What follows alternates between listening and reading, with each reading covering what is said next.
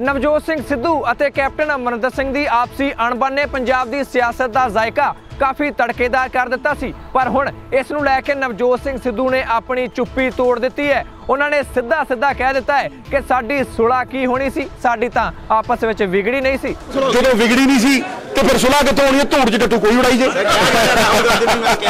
ਮੈਂ ਕੀ ਕਰਨਾ? ਇਹ ਇੱਕ ਇੱਕ ਹੁੰਦਾ ਹੈ ਝੂਠ। ਇੱਕ ਹੁੰਦਾ ਸਫੈਦ ਝੂਠ। ਕੁਝ ਲੋਕ ਨਾ, ਇਹ ਮਤਲਬ ਕੁਝ ਲੋਕ ਧੂੜ ਚ ਟੱਟੂ ਉਡਾਉਣਾ ਬੜਾ ਉਹਨਾਂ ਨੂੰ ਚੰਗਾ ਲੱਗਦਾ। ਇਹ ਉਹਨਾਂ ਦੀ ਉਹ ਮਨ ਘੜੰਤ ਸਕ੍ਰਿਪਟ ਹੈ। ਤੇ ਬਣਾਈ ਜਾਣ ਸਾਨੂੰ ਵੀ ਫ਼ਰਕ ਪੈਂਦਾ?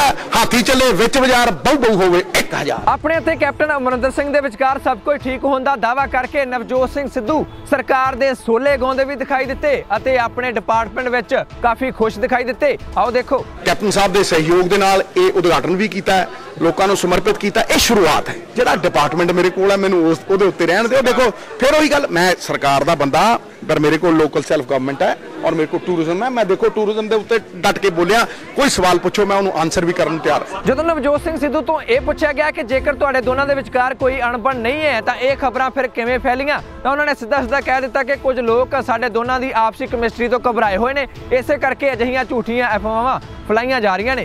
ਕਿ ਧੂੜ ਚ ਟੱਟੂ ਹੈ। ਉਡਾ ਤਾਂ ਕਿਸੇ ਨੇ ਉਡਾ ਦਿੰਦੇ। ਮੈਂ ਤੈਨੂੰ ਕਹਿਣਾ ਕਿ ਬੜੇ ਲੋਕ ਅਸੁਰੱਖਿਅਤ ਨੇ। ਬੜੇ ਲੋਕ ਘਾਬਰੇ ਫਿਰਦੇ ਆ। ਹੈ? ਉਹਨਾਂ ਅਸੁਰੱਖਿਅਤ ਲੋਕਾਂ ਦੀ ਇੱਕ ਮਨ ਘੜੰਤ ਸਕ੍ਰਿਪਟ ਹੈ ਇਹ। ਬਣਾਈ ਜਾਣ। ਭਾਈ ਕਿਸੇ ਤੋਂ ਘਬਰਾਏ ਹੋਣ। ਇਹ ਭਾਈ ਕਿਸੇ ਤੋਂ ਵੀ ਘਾਬਰੇ ਹੋਣ, ਇਹ ਉਹਨਾਂ ਨੂੰ ਪਤਾ ਹੋਊ।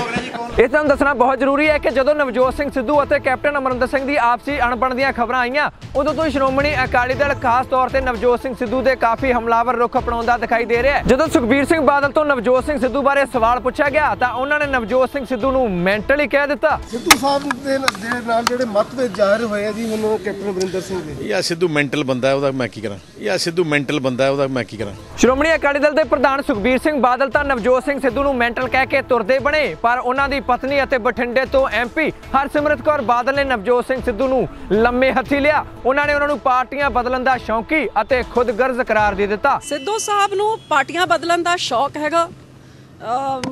ਪਹਿਲੇ ਇੱਕ ਪਾਰਟੀ 'ਚ ਹੀ ਉਸ ਪਾਰਟੀ 'ਚ ਨਾਰਾਜ਼ਗੀ ਜਤਾਤੇ ਕਿ ਪੁੱਛਗਿੱਛ ਘੱਟ ਸੀ। ਉਹ, ਉਸ ਪਾਰਟੀ ਨੂੰ ਛੱਡ ਕੇ ਆ ਗਏ।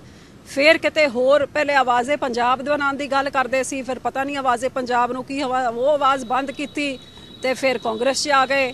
ਹੁਣ ਕਾਂਗਰਸ ਤੇ ਪੁੱਛਗਿੱਛ ਕਰ, ਤੋਂ ਸ਼ਾਇਦ ਆਮ ਆਦਮੀ ਵਿੱਚ ਜਾਣ ਦੀ ਅਨੀ ਤਿਆਰੀ ਕਰ ਰਹੇ ਹੋਣਗੇ। ਜਿਹੜੇ ਦਲ ਬਦਲੂ ਹੁੰਦੇ ਨੇ ਉਹ ਕਿਸੇ ਹੋਰ ਜਾਂ ਕਿਸੇ ਪਾਰਟੀ ਦੇ ਜਾਂ ਲੋਕਾਂ ਵਾਸਤੇ ਨਹੀਂ ਹੁੰਦੇ, ਉਹ ਖੁਦਗਰ ਸਿਰਫ ਆਪਣੇ ਵਾਸਤੇ ਹੁੰਦੇ ਨੇ। ਇਸ ਸਾਰੇ ਘਟਨਾਕ੍ਰਮ ਦੇ ਵਿੱਚ ਭਾਵੇਂ ਨਵਜੋਤ ਸਿੰਘ ਸਿੱਧੂ ਨੇ ਹੁਣ ਆਪਣੇ ਅਤੇ ਕੈਪਟਨ ਅਮਰਿੰਦਰ ਸਿੰਘ ਦੇ ਵਿਚਕਾਰ ਕੁਝ ਵੀ ਅਣਬਣ ਹੋਣ ਤੋਂ ਇਨਕਾਰ ਕਰ ਦਿੱਤਾ ਹੈ। ਪਰ ਤੁਹਾਨੂੰ ਅਸੀਂ ਪਹਿਲਾਂ ਵੀ ਦਿਖਾ ਚੁੱਕੇ ਹਾਂ ਕਿ ਨਵਜੋਤ ਸਿੰਘ ਸਿੱਧੂ ਨੇ ਇੱਕ ਪ੍ਰੈਸ ਕਾਨਫਰੰਸ ਕਰਕੇ ਆਪਣੀ ਨਾਰਾਜ਼ਗੀ ਕੈਪਟਨ ਅਮਰਿੰਦਰ ਸਿੰਘ ਦੇ ਨਾਲ ਖੁੱਲ੍ਹ ਕੇ ਜ਼ਾਹਿਰ ਕੀਤੀ ਸੀ, ਭਾਵੇਂ ਕਿ ਹੁਣ ਇਸ ਤੋਂ ਮੁੱਕਰਦੇ ਦਿਖਾਈ ਦੇ ਰਹੇ ਨੇ। ਤੁਹਾਨੂੰ ਇਹ ਵੀ ਦੱਸ ਦੇਣਾ ਚਾਹੁੰਦੇ ਹਾਂ ਕਿ ਨਵਜੋਤ ਸਿੰਘ ਸਿੱਧੂ ਨੇ ਇਹਨਾਂ ਦਿਨਾਂ ਵਿੱਚ ਇੱਕ ਬਹੁਤ ਵੱਡਾ ਬਿਆਨ ਦੇ ਦਿੱਤਾ ਹੈ। ਉਹਨਾਂ ਦਾ ਕਹਿਣਾ ਹੈ ਕਿ ਮੈਂ ਕਾਂਗਰਸੀ ਹਾਂ ਅਤੇ ਮਰਨ ਤੱਕ ਹੁਣ ਮੇਰੀ ਪਾਰਟੀ ਕਾਂਗਰਸ ਹੀ ਰਹੇਗੀ। ਹੁਣ ਆਪਣੇ ਇਸ ਬਿਆਨ ਤੇ ਕਿੰਨਾ ਕੁ ਕਾਇਮ ਰਹਿੰਦੇ ਨੇ, ਇਹ ਤਾਂ ਆਉਣ ਵਾਲੇ ਦਿਨਾਂ ਵਿੱਚ ਹੀ ਪਤਾ ਚੱਲੇਗਾ, ਕਿਉਂਕਿ ਚਰਚਾ ਇਹ ਚੱਲ ਰਹੀ ਹੈ ਕਿ ਉਹਨਾਂ ਦਾ ਆਮ ਆਦਮੀ ਪਾਰਟੀ ਦੇ ਨਾਲ ਸੰਪਰਕ ਲਗਾਤਾਰ ਜਾਰੀ ਹੈ। ਸੁਖਪਾਲ ਸਿੰਘ ਖਹਿਰਾ ਅਤੇ ਭਗਵੰਤ ਮਾਨ ਵੱਲੋਂ ਉਹਨਾਂ ਨੂੰ ਸੱਦੇ ਵੀ ਦਿੱਤੇ ਜਾ ਰਹੇ ਨੇ। ਇਸ ਕਰਕੇ ਨਵਜੋਤ ਸਿੰਘ ਸਿੱਧੂ ਨੇੜਲੇ ਸਿਆਸੀ ਭਵਿੱਖ ਦੇ ਵਿੱਚ ਕੋਈ ਵੀ ਵੱਡਾ ਧਮਾਕਾ ਕਰ ਸਕਦੇ ਨੇ, ਕਿਉਂਕਿ ਜੇ ਮੁੱਕਰਨ ਦੀ ਗੱਲ ਕਰੀਏ ਤਾਂ ਮੁੱਕਰੋ ਪਹਿਲਾਂ ਵੀ ਚੁੱਕੇ ਨੇ ਅਤੇ ਆਪਣੇ ਇਸ ਬਿਆਨ ਤੋਂ ਵੀ ਉਹ ਜਲਦੀ ਹੀ ਮੁੱਕਰ ਸਕਦੇ ਨੇ ਕਿ ਉਹ ਮਰਨ ਤੱਕ ਕਾਂਗਰਸੀ ਰਹਿਣਗੇ। ਕਿਉਂਕਿ ਅੱਜ ਕੱਲ ਨੇਤਾਵਾਂ ਦੇ ਸਿਆਸੀ ਬਿਆਨਾਂ ਨੂੰ ਜ਼ਿਆਦਾ ਸੀਰੀਅਸਲੀ ਨਹੀਂ ਲਿਆ ਜਾ ਸਕਦਾ। ਇਸ ਕਰਕੇ ਨਵਜੋਤ ਸਿੰਘ ਸਿੱਧੂ ਦਾ ਇਹ ਮਰਨ ਕਾਂਗਰਸੀ ਰਹਿਣ ਵਾਲਾ ਬਿਆਨ ਵੀ ਜ਼ਿਆਦਾ ਸੀਰੀਅਸ ਲੈਣ ਵਾਲਾ ਦਿਖਾਈ ਨਹੀਂ ਦੇ ਰਿਹਾ। ਜੇਕਰ ਤੁਸੀਂ ਪੰਜਾਬ ਦੀ ਹਰ ਅਹਿਮ ਖਬਰ ਦੀ ਸੱਚਾਈ ਤੋਂ ਨਿਰਪੱਖਤਾ ਦੇ ਨਾਲ ਇਸੇ ਤਰ੍ਹਾਂ ਹੀ ਜਾਣੂ ਰਹਿਣਾ ਚਾਹੁੰਦੇ ਹੋ, ਤਾਂ the Punjab TV news channel ਨੂੰ ਹੁਣੇ ਸਬਸਕ੍ਰਾਈਬ ਕਰ ਲਓ। ਅਸੀਂ ਵਾਅਦਾ ਕਰਦੇ ਹਾਂ ਕਿ ਅਸੀਂ ਪੰਜਾਬ ਦੀ ਹਰ ਅਹਿਮ ਖਬਰ ਨਿਰਪੱਖਤਾ ਦੇ ਨਾਲ ਤੁਹਾਡੇ ਤੱਕ ਪਹੁੰਚਾਉਂਦੇ ਰਹਾਂਗੇ। ਮੈਂ ਜੱਜ ਸਿੰਘ ਚਾਲ ਅਗਲੀ ਵਾਰ ਫੇਰ ਹਾਜ਼ਰ ਹੋਵਾਂਗਾ। ਤੁਸੀਂ ਦੇਖਦੇ ਰਹੋ ਦਾ ਪੰਜਾਬ ਟੀਵੀ ਹਰ ਖਬਰ ਦਾ ਸੱਚ। ਇਹ ਜੋ ਪਬਲਿਕ ਹੈ, ਸੁਣਨਾ ਮੈਂ ਦਾਦਾ ਇਹ ਜੋ ਪਬਲਿਕ ਹੈ, ਇਹ ਸਭ ਜਾਣਤੀ ਹੈ, ਮੈਂ ਨਹੀਂ ਕਿਹਾ ਰਜੇਸ਼ ਖੰਡੇ ਨੇ ਕਿਹਾ